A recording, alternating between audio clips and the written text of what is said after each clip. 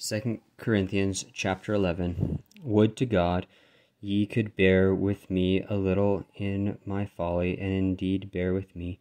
For I am jealous over you with godly jealousy, for I have espoused you to one husband, that I may present you as a chaste virgin to Christ.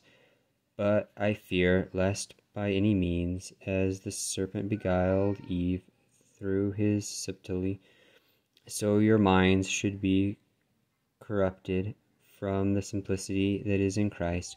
For if he that cometh preacheth another Jesus, whom we have not preached, or if ye perceive another spirit which we have not perceived, received, or another gospel which we have not accepted, ye might well bear with him, for I suppose I would was not a whit behind the very chiefest apostles.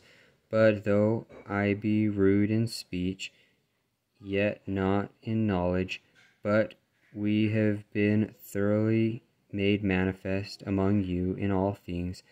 Have I committed an offense in abasing myself, that ye might be exalted, because I have preached to you the gospel of God freely? I robbed other churches, taking wages of them to do you service. And when I was present with you and wanted, I was chargeable to no man. For that which was lacking to me, the brethren which came from Macedonia supplied. And in all things I have kept myself from being burdensome unto you, and so will I keep myself, as the truth of Christ is in me. No man shall stop me of this boasting in the regions of Achaia. Wherefore, because I love you not, God knoweth, but that but what I do, that I will do, that I may cut off occasion from them which desire occasion, that wherein they glory, they may be found even as we. For such are false apostles, deceitful workers, transforming themselves into the apostles of Christ. And no marvel, for Satan himself is transformed into an angel of light. Therefore, it is no great thing if his ministers also be transformed as the ministers of righteousness, whose end shall be according to their works. I say again, let no man think me a fool, if otherwise, yet as a fool receive me, that I may boast myself a little. That which I speak, I speak it not after the Lord, but as it were foolishly in this confidence of boasting Seeing that many glory after the flesh, I will glory also. For ye suffer fools gladly, seeing ye yourselves are wise.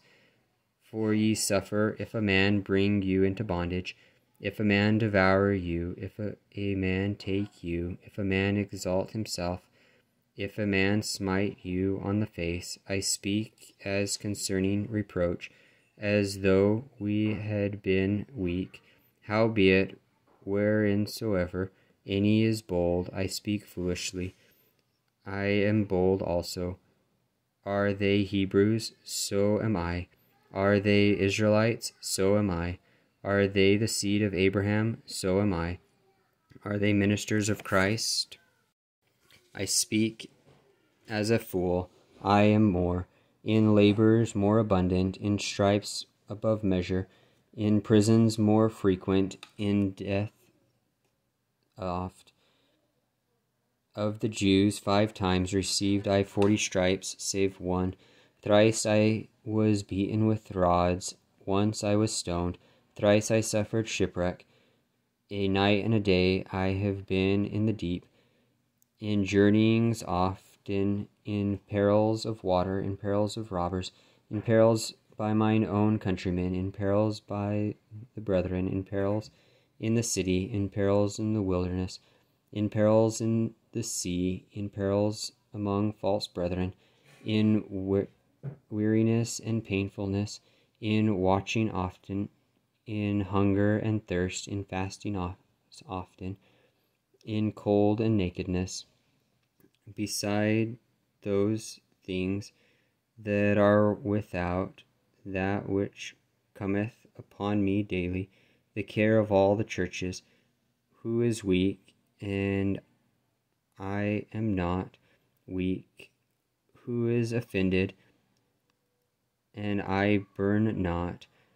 If I must needs glory, I will glory of the things which concern mine infirmities. The God of and Father of our Lord Jesus Christ, which is blessed for evermore, knoweth that I lie not.